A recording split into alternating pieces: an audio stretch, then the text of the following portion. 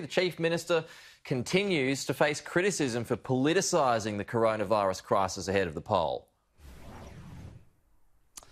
That's right, Pete. He's been described this morning as the Grinch who stole Christmas. Now, there's a good chance as a politician you'll get photoshopped on the front page of the NT News at some time during an election campaign. Some might argue that the Chief Minister, though, brought this one on himself. This follows uh, an interview he gave on breakfast television yesterday where he told Territorians to cancel their Christmas plans. He also said that hard border restrictions here in the Northern Territory would likely remain in place for at least 18 months. That led to widespread confusion here because we don't really have hard border lockdowns here in the Northern Territory. In fact, the Northern Territory is open to basically the entire country except for Victoria, Sydney, and a couple of other local government areas in New South Wales. Lia Finocchiaro, the CLP leader, she was uh, on the attack last night. She spoke to Chris Kenny here on Sky News. Here's a bit of what she had to say.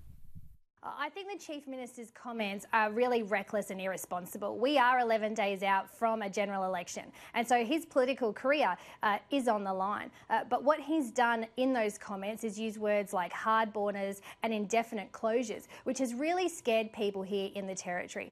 Some tough talk at an election time just further shows how this government, how low this government will go to stoop to using the pa- pandemic for political advantage.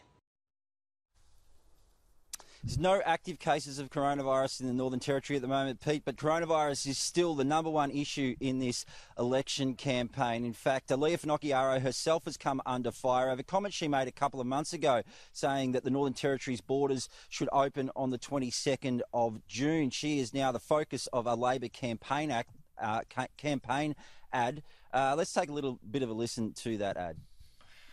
If I was Chief Minister, I would be reopening the Northern Territory's borders to the rest of the nation on the 22nd of June. If I was Chief Minister, I would be reopening the Northern Territory's borders to the rest of the nation on the 22nd of June. If I was Chief Minister, I would be reopening the Northern Territory's borders to the rest of the nation on the 22nd. If the CLP had been in charge, what would our news look like today? Authorised by A. Brereton, Australian Labor Party, Northern Territory Branch, Darwin.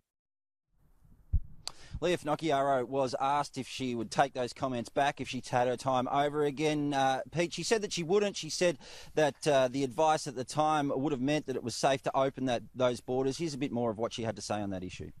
We haven't changed our mind. Back at that time when I made those comments, uh, there were no hotspots around our nation. And of course, had we have opened our borders on the 22nd of June, we would have done so with police still at our borders, of course, collecting that really important information from people moving into the territory. It would have followed the health advice and it would have been reactive. Only 10 days to go now, Pete, until the official election day here in the Northern Territory. But lots of people have been get, getting out and voting early. Those early voting centres opened on Monday. The Electoral Commission says that more than 12,000 people here in the Northern Territory, that's more than 10% of the total voting population, have already cast their vote.